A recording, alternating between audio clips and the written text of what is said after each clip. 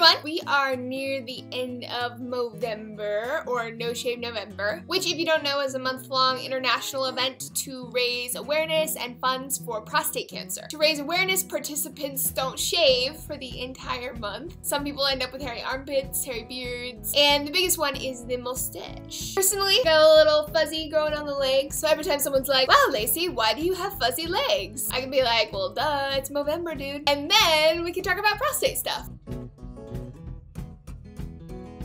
So the prostate is a small walnut-sized gland about this big that sits about two inches up inside the anus of the male body. The prostate is legit. It feels good when it's stimulated. It produces half or more of the liquid that comes out during ejaculation, but it's also the source of cancer for about 186,000 men in the US every year. Preventing prostate cancer is eh, we don't totally get it yet. We know that it's partially genetics and it's partially lifestyle. So genetics out of your control. But lifestyle, there's some control there, some stuff you can do. For the most part, keeping a healthy prostate is the same thing as just keeping a healthy body in general. Eating right and exercising, eating enough fiber, eating your fruits and vegetables, keeping the smoking down, keeping the drinking to a minimum. You know the drill. There have also been a number of studies recently suggesting that regular ejaculation can decrease your likelihood of getting prostate cancer. So you should do that. The good news about prostate cancer, the vast majority of victims survive and many are cured. This is why science and technology is awesome. The technology that we have now has lowered the mortality rate from 9% just 15 years ago to like a fraction of a percent now. So the goal of Movember in regards to prostate cancer is to find more effective ways to diagnose and treat it. And to do so, just last year, Movember raised over $126 million for research and treatment through the Prostate Cancer Foundation. It's a lot of money. Behold the mustache power!